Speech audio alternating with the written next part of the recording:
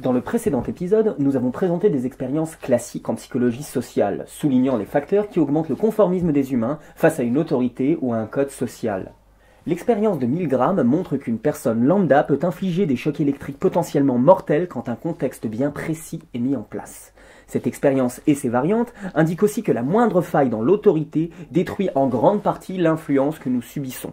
Le conformisme n'est jamais absolu. Il faut une source reconnue d'autorité et une unanimité de cette autorité pour obtenir une obéissance déraisonnable.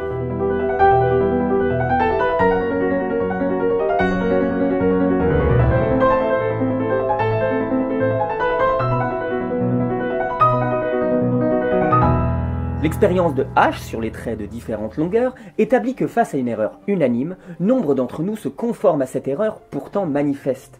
Mais cette expérience et ses variantes mettent en évidence deux postures. Certains se trompent de bonne foi sous l'influence inconsciente exercée par le groupe, tandis que d'autres font consciemment le choix de suivre l'avis du groupe malgré un avis personnel différent. Cette diversité est au cœur de notre fonctionnement individuel et collectif. C'est la diversité de nos réactions face aux influences et aux autorités qui permettent le plus souvent qu'un débat ait lieu. Car dès l'instant qu'existe un environnement diversifié, dans lequel l'unanimité est défiée, on peut s'attendre à une forte réduction du conformisme, conscient ou inconscient. Assurer la diversité de l'offre cognitive, s'ouvrir soi-même aux alternatives, et donc renoncer à toute posture dogmatique, apparaît comme la réponse la plus efficace à notre légitime crainte d'être influencé jusqu'à la manipulation. Cela peut paraître paradoxal. Il faut s'ouvrir pour être en sécurité. Les débats de l'arène politique et sociale jouent ce rôle. Bien sûr, ce n'est pas une panacée. On retrouve des camps dans lesquels des postures rigides sont érigées en modèle indéboulonnable, en autorité dont il ne faut pas douter. Les effets pervers de l'influence peuvent y être très puissants, même si le reste de la société offre une variété de discours et d'avis. Cet enfermement transforme la moindre confrontation d'idées en une bataille rangée où toute parole adverse est vécue comme une agression. De peur d'être influencé par la parole d'un groupe identifié comme ennemi, nous discréditons d'emblée toute idée émise par lui. Nous éliminons l'alternative et en réalité, nous maximisons nos risques d'être manipulés par les autorités du groupe auquel nous nous identifions. Car rappelons cette évidence, les influences les plus puissantes sont celles qu'exercent les individus et les groupes auxquels nous nous fions. On n'est jamais trahi que par les siens. Sur YouTube, les vidéastes ayant une audience importante sont appelés influenceurs. L'influence est d'autant plus importante que le visage du vidéaste apparaît à l'écran, qu'il inspire la sympathie, que le public peut s'identifier à lui et se conformer à ses choix ou ses préférences. Quand nous sommes à l'écran sur la tronche en biais, nos personnages portent une blouse blanche. Vous savez pourquoi Nous l'avons expliqué dès la première vidéo. La blouse blanche est devenue le costume de la scientificité un artifice de communication employé pour augmenter le crédit que vous accordez à notre parole. Mais le principal bénéfice n'est pas là. Plus vous associerez la blouse blanche au concept de zététique et d'esprit critique, plus vous activerez votre vigilance épistémique devant des personnes ainsi vêtues dans le but de mieux vous convaincre. En tout cas, c'est le pari que nous voulons tenter. Avec presque 100 000 abonnés, notre chaîne rentre sans doute dans la catégorie des influenceurs. Mais d'autres chaînes sont bien plus efficaces pour ça. Elles décrochent des contrats quand des entreprises investissent dans votre programme afin de s'assurer que votre public sera exposé à leur marque. Quand des vidéos monétisées sont mises en avant par des plateformes vidéo pour maximiser le temps de visionnage et d'exposition aux messages publicitaires. Alors, on est en présence d'un système qui exploite sciemment la manière dont le cerveau humain évalue la fiabilité d'une parole, la qualité d'une information ou d'un produit. La vigilance épistémique est cette faculté que nous avons de traiter une information avant de l'intégrer à notre représentation du monde.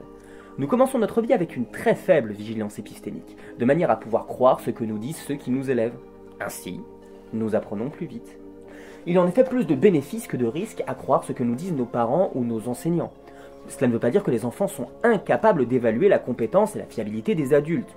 Ils le peuvent, mais cette compétence s'accroît avec l'âge. Nous devenons moins naïfs. Notre expérience personnelle façonne la manière dont nous choisissons d'accorder ou non notre confiance à telle ou telle source d'information. Les vrais problèmes commencent sur des sujets où nous n'avons qu'une compréhension partielle des énoncés, où nous devons ou bien mobiliser beaucoup d'efforts pour compléter notre compréhension, ou bien jauger de la crédibilité de l'énoncé par la confiance que nous accordons à la compétence de la source. notre vigilance épistémique s'endort un peu quand nous sommes en terrain de confiance. Et ainsi, nous partageons autour de nous des informations qui ne nous semblent vraies que pour la raison parfois discutable qu'elles viennent d'une source que nous aimons bien. Ainsi tombons-nous parfois dans le piège des canulars. Dans ces conditions, il nous faut maximiser le second aspect de la vigilance épistémique, celui qui nous permet de traiter le contenu des énoncés. Ce traitement n'est efficace qu'au prix d'un investissement en temps et en énergie dans l'acquisition des connaissances. Et nous ne disposons pas toujours des ressources nécessaires.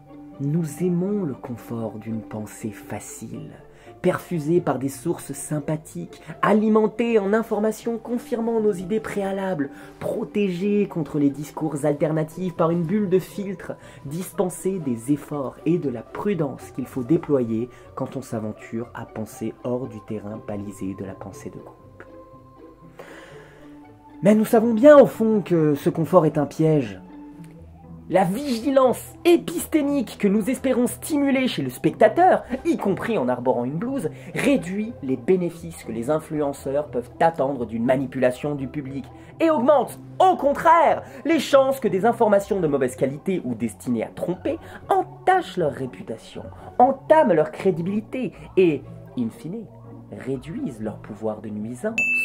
Alors, bien sûr, je vous dis tout cela en espérant que vous accepterez d'adhérer à mon propos je vous demande d'accepter l'influence que j'espère exercer en vous livrant ce message.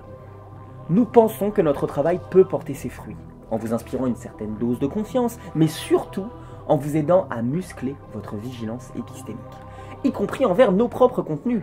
Viser la rationalité, c'est vivre tous les jours comme si c'était le 1er avril, en sachant très bien que les informations qui nous plaisent, nous étonnent, nous choquent, pourraient bien être fausses ou ambiguës. La manière la plus prudente de trier les informations est de ne pas se focaliser sur l'identité de la source, mais sur la méthode qui a permis de produire cette information. Ce qui doit faire autorité, c'est la démarche. La pensée de groupe, même si ce groupe est étiqueté zététique, est l'ennemi de la pensée critique. Faites-nous confiance là-dessus.